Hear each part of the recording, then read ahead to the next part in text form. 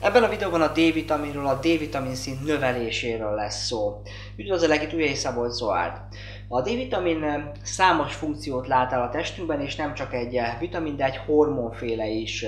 Egyben szerkezete hasonlít a szteroid eh, hormonokéhoz, és fontos szerepet játszik a csontjaink és az immunrendszerünknek a működésében.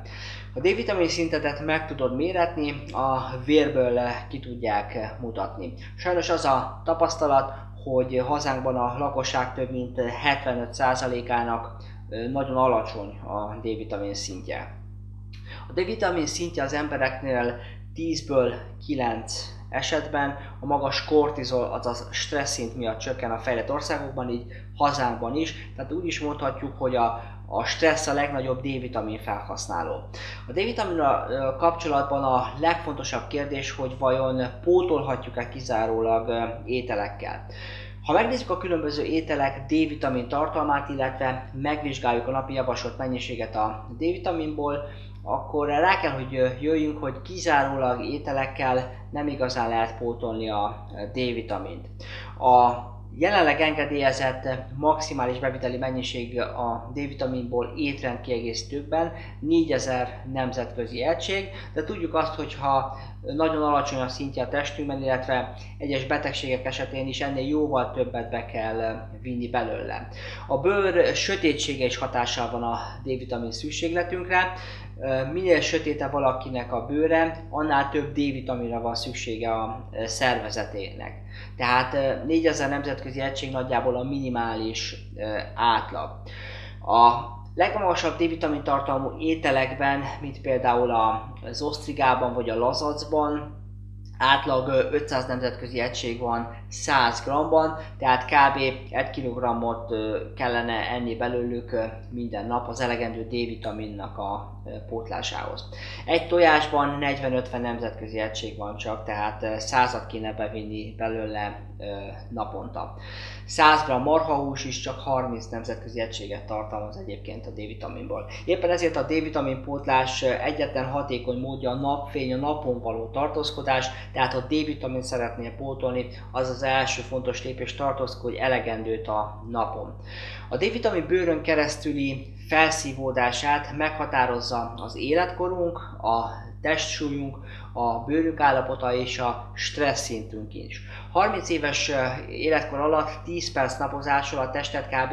1000 nemzetközi egységnyi D-vitamint termel, tehát ha egy nap kb. 40 percet vagy kint a napon, biztosítani tudod a szervezetednek a napi szükséges D-vitamin mennyiséget. Ahogy idősödünk, a bőrünk D-vitamin termelő képessége csökken, így például 60 éves kor felett már háromszor több időre van szüksége a bőrnek, ugyanannyi D-vitamin előállításához, mint korábban, azaz 30 perc kell ahhoz, hogy 1000 nemzetközi egységet termeljen a D-vitaminból. Ahogy említettem az elején, a stressz hatására csökken a D-vitamin termelődés és felszívódása testedben, mivel a stressz következtében termelődő kortizol hormon ugyanazokat a receptorokat használja, mint a D-vitamin, így ha magas a kortizol szint a testedben, tehát fokozott stressznek vagy kitéve, a kortizol elhasználja a receptorokat, így a D-vitaminnak nem marad. Úgy is mondhatjuk, hogy minél nagyobb stressznek vagy kitéve, annál nagyobb lesz a D-vitamin igénye is a, a szervezetednek. A test súlyunk is hatása van a D-vitamin termelődésére, a súlyfelesleg megnöveli a D-vitamin termelődés és felszívódás idejét, tehát túlsúlyos embereknek többet kell a napon tartózkodni azonos mennyiségű D-vitamin bőrön keresztüli előállításához. És végül a D-vitamin termelődést és felszívódást csökkentik a bőrön lévő esetleges betegségek is, vagy ha például valamilyen mutáció van a D-vitamin receptorokban nála, tehát ilyenkor még többet kell a napon lenni. A második fontos lépés a D-vitamin szint növeléséhez az a máj és az EP-nek a rendbetétele. Az elzsírosodott máj, a károsodott máj ö, csökkenti a D-vitamin felszívódását a, a szervezetedben, de akkor is csökken a D-vitamin hasznosulása, ha egyszerűen csak le van gyengülve a, a májad, vagy ha nem működik ugye 100%-os kapacitással, illetve abban az esetben is, ha nem termel a, a májad valamilyen oknál fogva elegendő epesavat. Mindez azért van így, mert az epesav segítségével hasznosítja a tested a zsírban oldódó vitaminokat, és ugye a D-vitamin egy zsírban oldódó vitamin. A máj állapotának javításáról, a máj regenerálásáról több videóban is beszéltem már, keres rájuk a keresőben.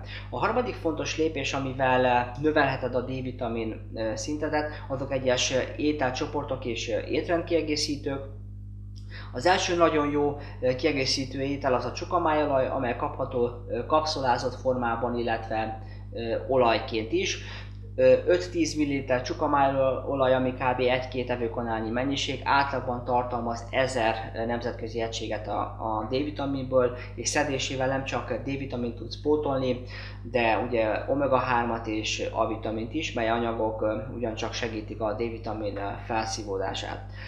A második a tejtermékek, mint a vaj, a zsírosabb sajtok és a tejszín. A tejtermékek esetén fontos azokat előnyben részesíteni, amelyek ugye nem tömegtermelésből érkeznek, így például kisebb családi gazdálkodásokból, vagy például biogazdaságokból származnak.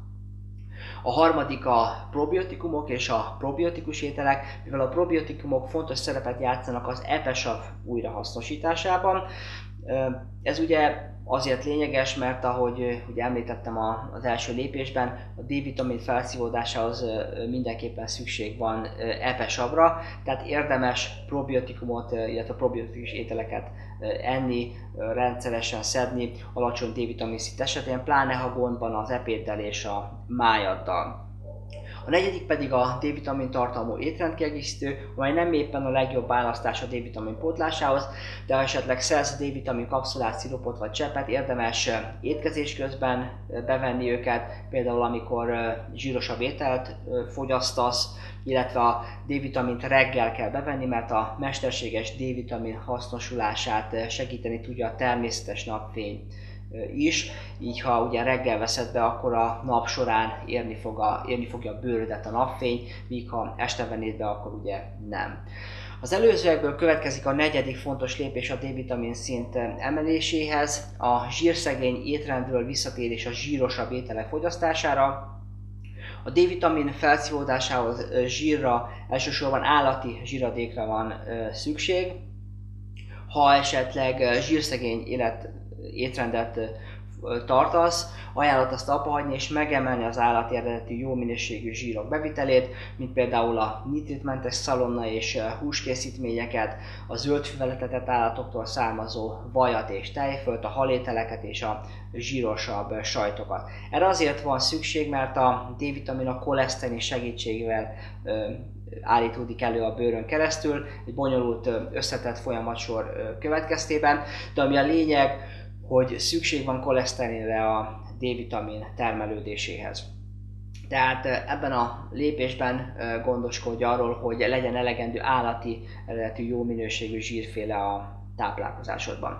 Az ötödik és egyben utolsó lépés kapcsolódik a, az előzőkhöz. Egyes gyógyszerek is csökkentik a D-vitamin szintet, így például a koleszterin csökkentők. A statinok hatására nem lesz elegendő alapanyag a szervezetben ahhoz, hogy ugye, tehát koleszterin ahhoz, hogy ugye elegendő D-vitamin termelődjön, tehát hatásukra is kialakulhat a D-vitamin hiány. Így ebben az esetben kérdezd meg a, az orvost, hogyha hogyan tudod a D-vitamint pótolni, ha már felírt neked koleszterin csökkentőt. Végezetül pedig eh, fontos beszélni a D-vitamin nagy dózisban való beviteléről is, ugyanis egyes esetekben szükség van arra, hogy jóval nagyobb mennyiségben vigyük be a D-vitamint, de ezekben az esetekben oda kell figyelni két fontos tényezőre. Először is az epére és az epesavra. Ahogy korábban említettem, ha nincs elegendő epesavad, vagy nem működik jól a a májad, nem fog tudni beépülni a D-vitamin, hiába viszel be akár napi 20 ezer nemzetközi egységet. Másodszor pedig a D-vitamin megfelelő működéséhez szükség van K2 vitaminra is, így nagy dózisú D-vitamin bevitel esetén tudatosan oda kell figyelni a K2 pótlására is Mindezekre azért fontos odafigyelni, mert a D-vitamin mozgatja a kálciumot, a K2 pedig ugye leegyszerűsítve azt határozza meg, hogy hova rakódjon le a kálcium a testedben. így ha nem viszel be elég K2 vitamint, megnőhet annak az esélye, hogy ugye a kálcium nem a csontjaidban fog lerakódni, ahova ugye kellene, hanem az erekbe, ez ugye az élelmeszesedés, vagy a vesékbe, és az epébe, ez meg ugye a vesekő és az epekő lesz. Tehát nagy dózisú D-vitamin esetén legyen rendben a májad és az epéd, legyen elegendő ugye epesavad, illetve vigyél be mindig K2 vitamint is a D mellé. Remélem érdekesnek esnek és hasznosnak találtad ezt a videót, és tudtam neked segíteni. Ha van tapasztalatod, véleményed a témával kapcsolatban, írd meg a hozzászólásokba, személyes kérdésedet pedig küld el nekem e-mailben. Ha még nem iratkoztál fel a csatornára, ne felejts el feliratkozni, mert így kapni fogsz értesítést a következő hasonló videókról. Találkozunk a következő videóban, addig is az egészség legyen veled!